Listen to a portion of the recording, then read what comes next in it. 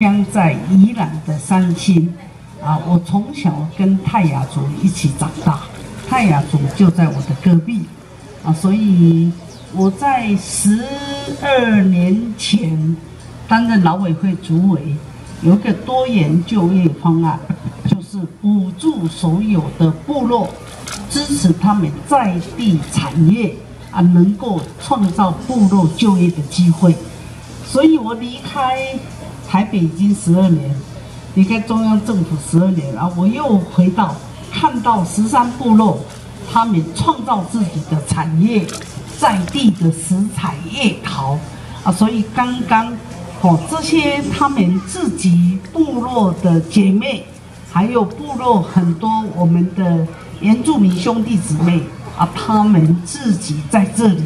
创造这样的产业，不但可以外销。也有内销啊，然后有美感啊，同时这很时尚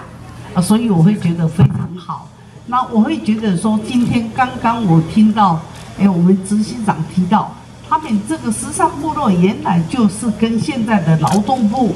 他们的一个方案啊，这个方案是很，哎，我觉得有点高兴，因为这个方案就是十二年前在劳委会。啊，当时协助部落就业，我们的多元就业方案。